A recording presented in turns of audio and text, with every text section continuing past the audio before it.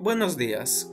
Como siempre, recordar que deberían haber leído, aunque sea el argumento o la sinopsis de La Última Niebla de María Luisa Bombal. Este video va a ser un poco diferente, ya que consiste en mis experiencias luego de la primera lectura de este libro. Sin más que decir, comencemos. Nuestra protagonista es una mujer que al comienzo del libro es joven, hermosa, pero que por motivos que todavía no entiendo exactamente se casa con su primo Daniel, luego de la muerte de la anterior mujer de este. Me da la impresión de que se casa más por apariencias y practicidad que por otra cosa. Daniel sigue muy afectado y extrañando a su anterior esposa, y nuestra protagonista no tiene nada de química con él. Daniel menciona que si no se casara con él, ella estaría lavando platos como sus otras hermanas. Y ellos viven en esta casa de campo, alejada de la ciudad, y parece como en el medio del bosque.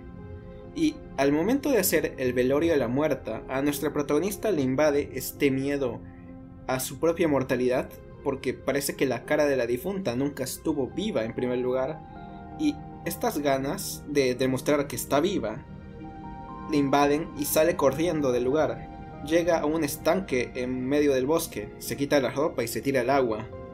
Este deseo por evitar la muerte, no solo física, va a ser muy importante.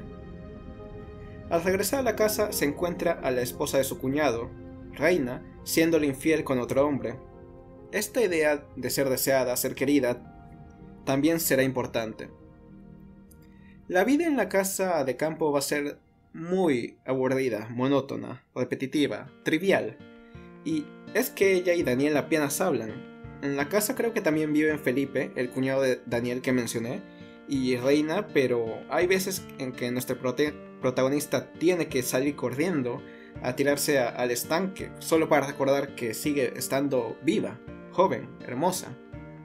En una ocasión van a visitar a la madre de Daniel a la ciudad y después de una gran comida y una celebración con bastante alcohol, a la protagonista le invade una ansia de salir, así, en medio de la noche, con la neblina.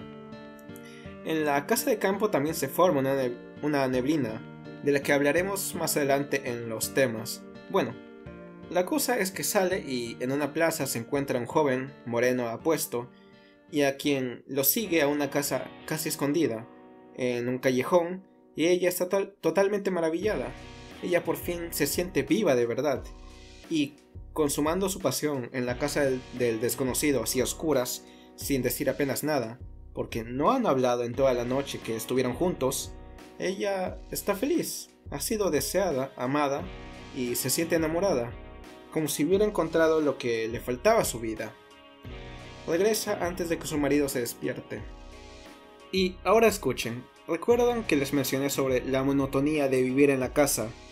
Pues se va a repetir por lo menos 10 años, en donde lo único que mantiene a nuestro protagonista con esperanzas, con ganas de existir, es ese recuerdo difuso de hace años, de esa aventura que tuvo. Incluso le escribe cartas a su amante que rompe al terminar de escribir. Lo imagina viéndolo en el fuego de la chimenea. Y es en el décimo aniversario de su boda que vuelve a verlo. Mientras estaba bañándose en el estanque, un carruaje aparece como de la nada, como salido de la niebla, y los caballos se acercan a beber agua.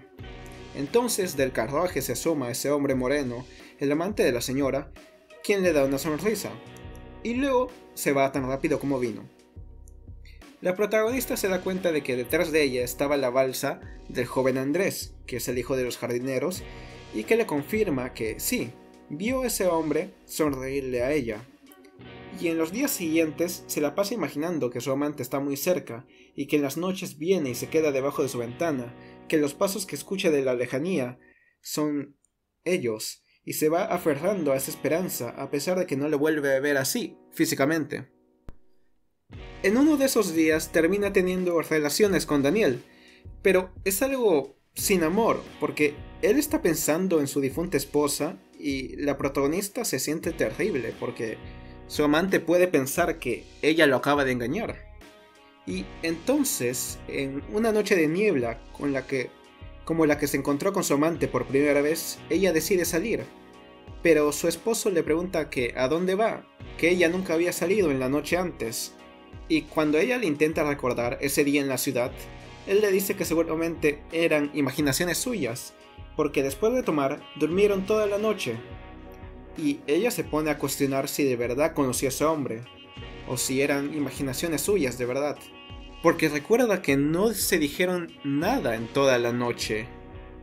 Y cuando busca a Andrés, el joven que le puede asegurar haber visto a ese hombre también, se da cuenta de que no está en ningún sitio. Pasan los días, y la búsqueda termina cuando lo encuentran ahogado en el fondo del estanque. El único testigo, muerto. Y más tiempo pasa aún. Reciben la noticia de que Reina, la esposa de Felipe, el hermano de Daniel, ¿recuerdan? Está en el hospital. Nuestro protagonista casi no puede evitar sonreír porque irán a la ciudad, donde espera reencontrarse con su amante.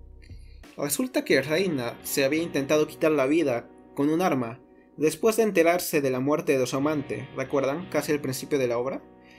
A nuestro protagonista le dan celos porque Reina tuvo toda una vida llena de experiencias y aventuras con ese amante, y porque ella puede caer en la desesperación por ese amor, mientras que nuestro protagonista solo tiene ese recuerdo ya difuso por los años de esa noche, y una visita todavía menos clara e incierta. Entonces ella se va corriendo del hospital, vagando por las calles, mientras una neblina espesa está por toda la ciudad, y no puede encontrar la plaza ni la casa de esa noche. Y después de mucho buscar, finalmente encuentra la plaza.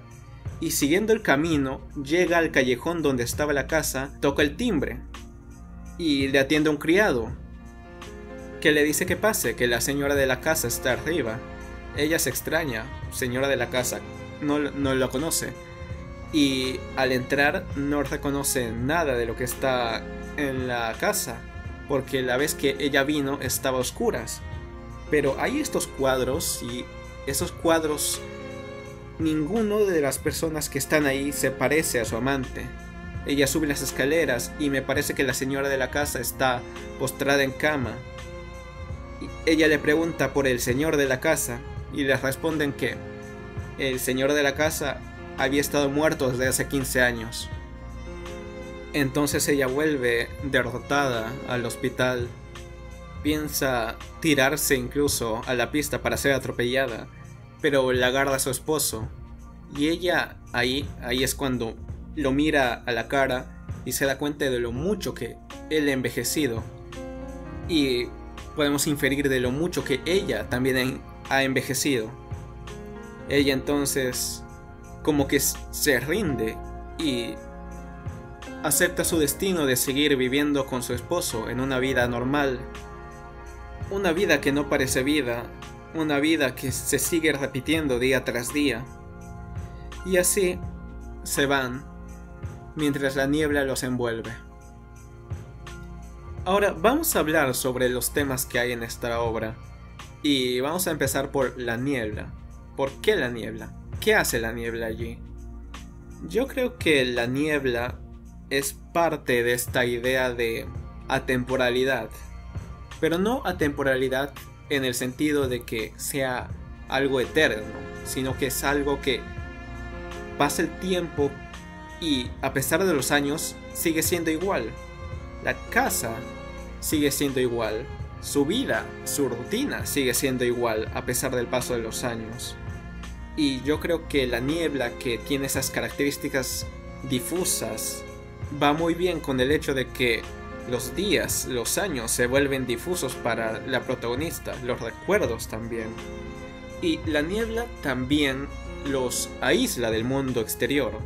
Es como si la casa solo existiera dentro de la niebla y más allá de la niebla no hubiera nada. Es como si estuvieran encerrados allí, repitiendo lo mismo día tras día, pero la protagonista igual se sigue haciendo vieja, sigue envejeciendo, va perdiendo la belleza, la juventud que tenía y es como la muerta, la muerta este menciona a la protagonista que parece que nunca estuvo viva en primer lugar y es lo que le está pasando a ella. Ella está muriendo y parece que ningún día ha vivido. Es como todos los días han sido iguales, tanto así que es como si nunca hubiera vivido ninguno de esos días. Ahora hablemos sobre la muerte y la mortalidad. La protagonista menciona que ama la vida, y verla malgastar su juventud todos los días de su vida es algo bastante trágico. Creo que es por eso que se aferra tanto a la idea de su amante. Ella quiere tener un amante, alguien que la haga sentir deseada y querida, y su amante es esa persona que la hace salir de esta rutina eterna. Es su aventura. Y si ella sigue siendo deseada, quiere decir que sigue siendo hermosa y joven. O sea que todavía no ha malgastado su vida, que todavía le queda mucho por delante. La casa también tiene ese sentido de atemporalidad. Es atemporal porque sigue siendo lo mismo, pasa lo mismo, a pesar de los años. Está en medio del bosque, separada del resto del mundo. El resto del mundo puede explotar y no cambiará nada en la vida de nuestra protagonista.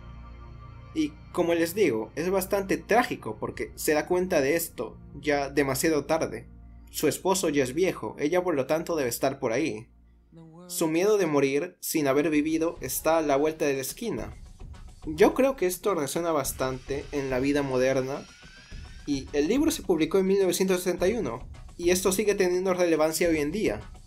Lo que me hace decir, pobre la gente que no conoció el internet, al menos los distraería de este triste destino.